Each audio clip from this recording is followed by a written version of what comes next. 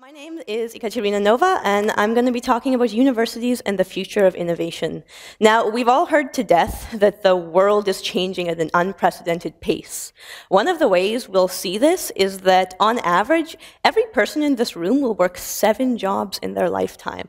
I myself have worked 11 to my defense, they've mo been mostly small contract work, but 11 is a lot. The previous generations would work one or two jobs in one career path, where we're expected to work at least two, switch careers at least once. Uh, the jobs we work also require a much greater interaction with technology than ever before. To give you an example, a uh, travel agent in the 1950s and 1960s would have pretty much the same interaction with technology throughout their careers. Now, there were small changes, and of course, policies change and paperwork changes, but overall it remained the same. If you take a travel agent that worked from, say, 1990 to 2010, they saw their entire field change with different hardware, different operating systems, different software. It requires an unprecedented level of change. Because of this, the base layer of education that we expect from many employees has risen the bachelor's degree has kind of become the new high school diploma in terms of employment opportunities. You hear this negatively referred to sometimes as degree inflation. The idea that the more people have a particular level of education, the less valuable it is.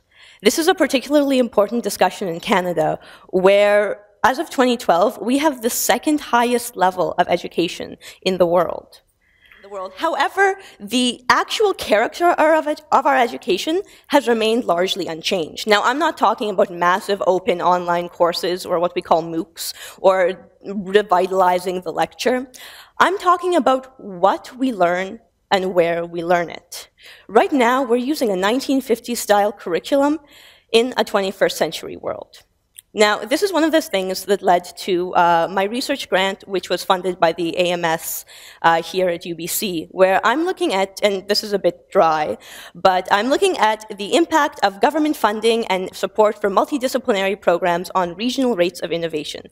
So pretty much this means when the government says it's great if our universities are teaching our engineers to study art and our artists to study biology, what does that do for how we invent? Uh, and my first step in this was to look at how and why people invent. And to that end, I'm going to tell you three stories. The story of the air conditioner, the story of the parachute, and the story of the webcam. The first is the story of the air conditioner, and please try to contain your excitement.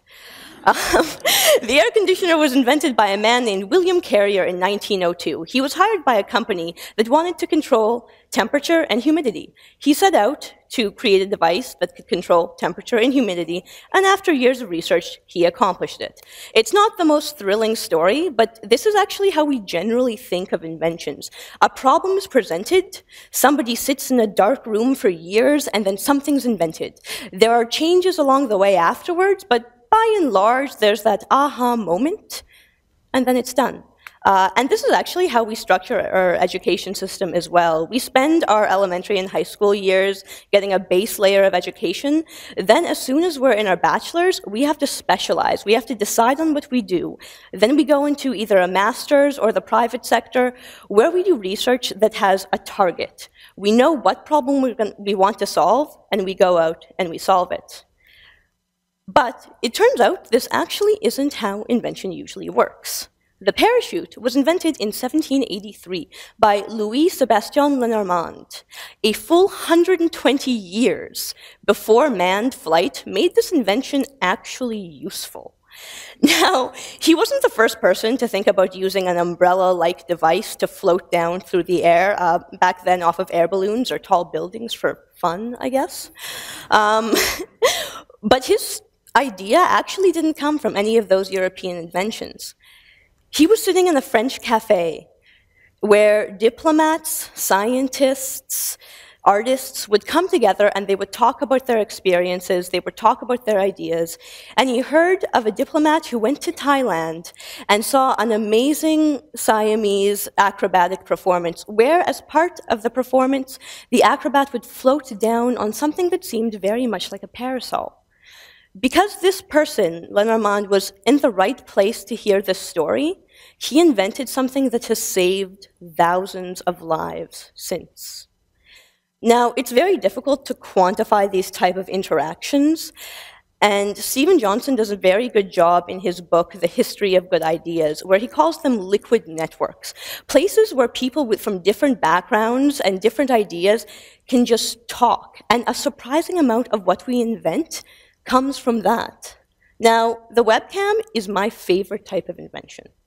The webcam was invented in 1991. Now, today, we use it to talk to our friends overseas, conduct interviews. Right now, you can use a webcam to see a real-time image of the International Space Station.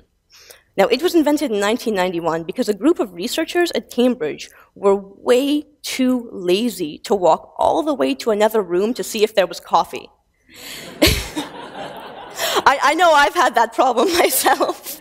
Um, it, and because of this, we have this world-changing technology because not only were they, did they want to make their lives a little bit better, but they had the resources available, they had leftover equipment, and they had time and they had freedom to use it. Now, just for, for the record, this is the first ever image on the first ever webcam showing what is an empty coffee pot.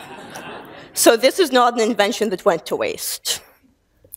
Um, and a lot of the inventions that we have are because the resources are there. And it's not necessarily what you set out to do, but the materials are there for you and you're given the freedom to use them. Companies and universities are starting to take more advantage of this. Google, for instance, not only famously gives their employees time to experiment and have fun with uh, Google's um, incredible amount of money and technology and employees, but they also go out and they find humanities PhDs, they find philosophy PhD candidates and offer them jobs at Google because it turns out they make fantastic programmers. And it's not necessarily that they're better than their counterparts, but they see things in a different way because they come from a completely different field. They didn't come from programming, but it's something that they can do because they have they have skill.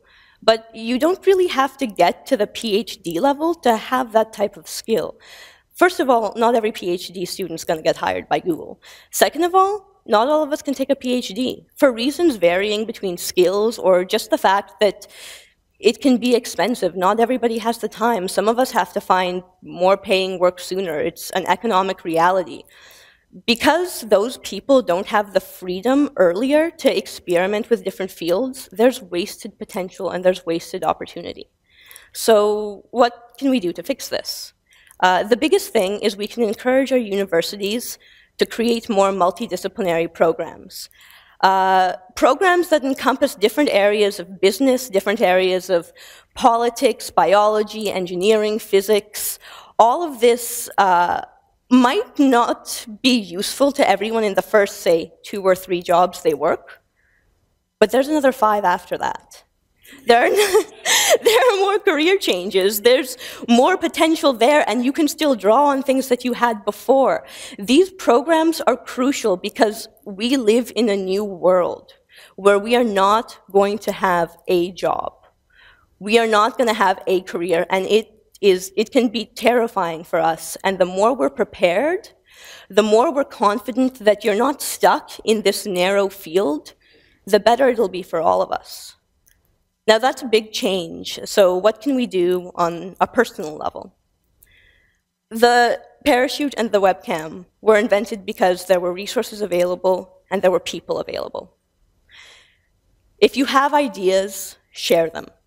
If you have access to resources, See who else wants to play. The world can change because of a conversation, and you never know what you're going to inspire. I am sure that the Siamese acrobat who floated down through the air didn't think that he'd be creating something that was still saving lives hundreds of years afterwards. We don't know the effects of what we share or what we do. So why not share and why not talk and why not experiment with telling stories with each other? Thank you.